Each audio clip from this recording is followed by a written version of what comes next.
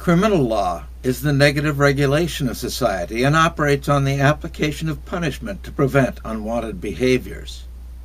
One question that provides immediate contention among people is who is benefited by criminal law? The challenge is inherent in the high rate of recidivism with the current approach that supposedly serves society. Our centers of incarceration, where public punishment is applied, seem to serve as educational facilities for the more effective criminal. That separation of purpose and result is just the tip of the iceberg. We have challenges that go all the way back to the American Revolution from English rule.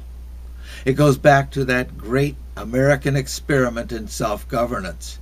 It is a question of whether criminal law is to serve the nation as an operating entity, or the public as represented by a sovereign government, or to serve we the people as a self governing sovereign. We do not have ready answers only the vague understanding that we have a historical system that does seem to work with many limitations and exceptions. Agreement among we the people on how criminal law and punishment should work is just not there. Application of punishment is the common law technique for addressing criminal behavior. It follows from the feudal times upon the use of punishment by parents in a household where it does seem to effect a reasonable result. What parents forbid to their children on pain of punishment is generally avoided by their children.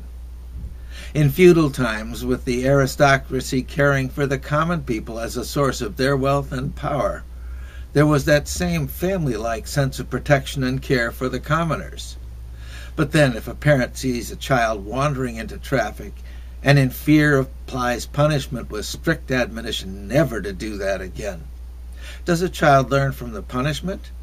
It is more likely that the fear in the parent's voice and the sense of panic in reaction to their taking on such a threat is what teaches the lesson.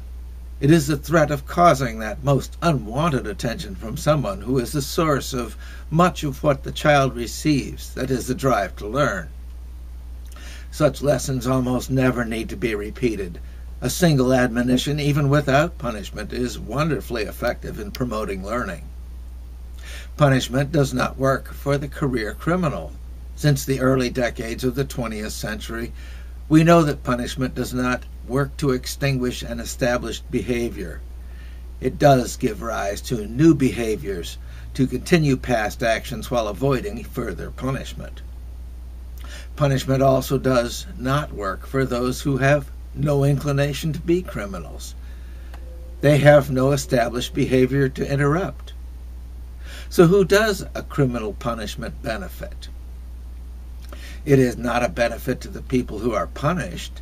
It adds no benefit to we, the people who are still threatened by career criminals and not threatened by those who were in, not inclined to crime in the first place.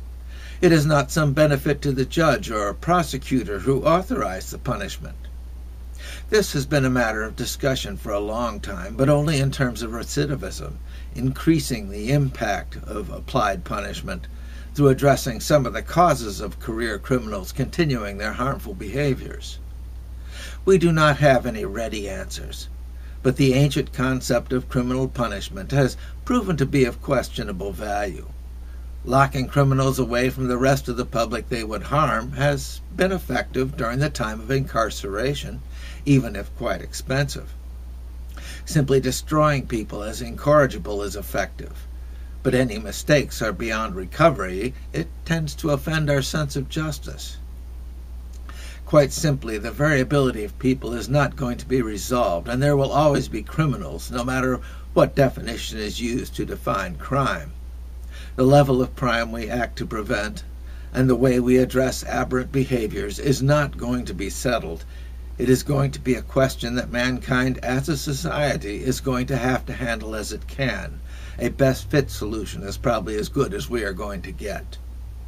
Passing criminal punishment laws to those who offend the laws is not a solution. It is an attempt at a solution that has been accepted as a basis for government action it will have to do until we have another and better direction upon which we can come to agreement. The very concept of criminal prosecution, the us and them approach to criminal behavior, is written into our Constitution with special protection for citizens who are threatened with prosecution for crimes. It is part of our self government experiment. It is going to be applied as best people can apply it. The basis for British law crimes is the sovereign's right to rule over people. To murder or maim another person is to lessen their value to the sovereign. To disturb the peace is to distract the common people from the productive efforts which are the source of wealth for the privileged. The sovereign protects the source of wealth. And this is how much of our criminal law has been addressed in the United States that engaging in crime is an offense against the state, a violation of sovereign directives or bans. The common law basis in the American experiment would redefine crime to be an offense against other people. The rights of one citizen end only where the rights of others begin, and acts that upset this are an offense to we the people. Acts against government laws that protect the benefit the people are acts against we the people in whose name these protections were put in place. Offenses against the people and offenses against the state are competing approaches to criminal law.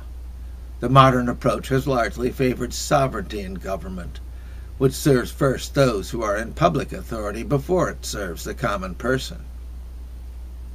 A crime is a wrongdoing recognized by government. It can be an act or a failure to act where there is a recognized public duty to act. A crime is a public offense, even if perpetrated against just another person.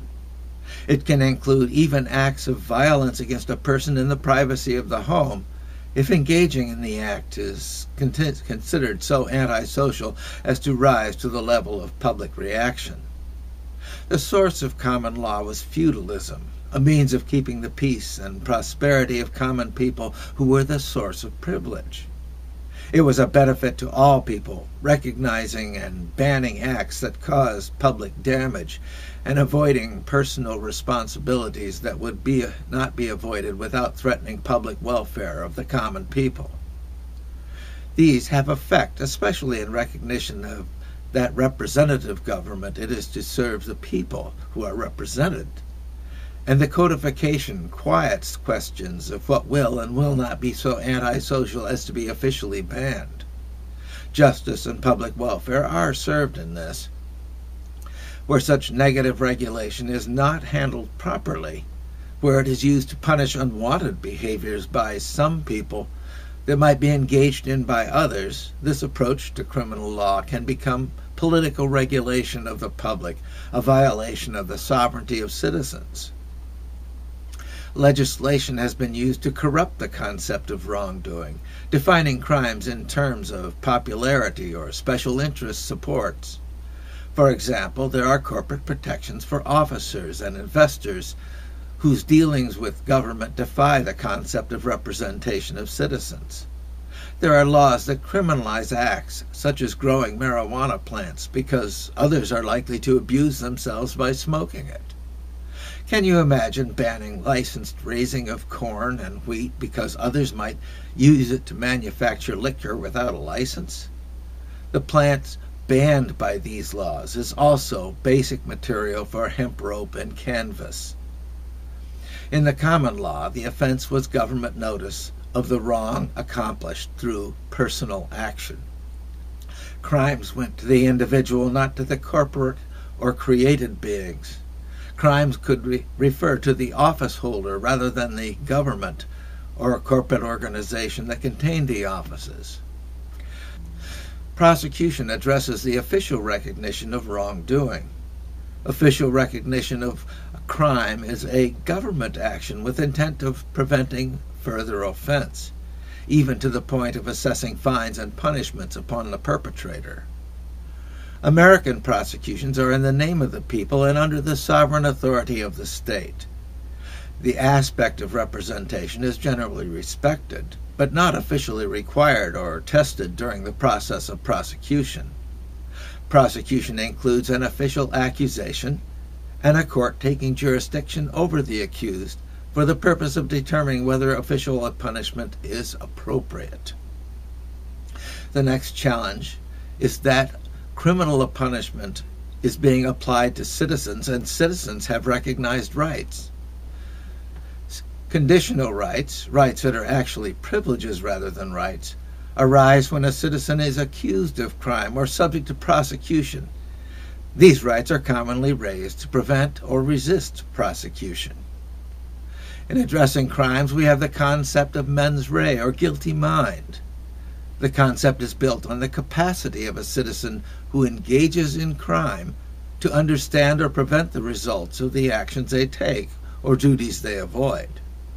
Infants, for example, cannot be prosecuted for criminal offense as they lack capacity. A person who throws up their supper in public, potentially spreading disease, is not to be prosecuted for that threat, as it was not by their own choice that they did so. Mentally deficient people may be excused for what they do as lacking capacity to decide on their own actions. It is not some excuse for engaging in crime, as the crime is still the same in either case. The excuse for, of incompetence in mental state is a protection for the perpetrator of the crime from criminal prosecution and punishment. Even where there is recognized act or failure of duty that was intentional, prosecution and punishment can be denied due to incompetence of the accused to understand the error or to accept the duty that was the basis for prosecution. We have a foundation for criminal law in recognition of common law systems, but crimes were more a matter of governmental authority over the person than of right and wrong. With the rejection of government sovereignty, we had the challenge of personal sovereignty over the law and how to apply criminal concepts of we the people acting as sovereign toward sovereign citizens.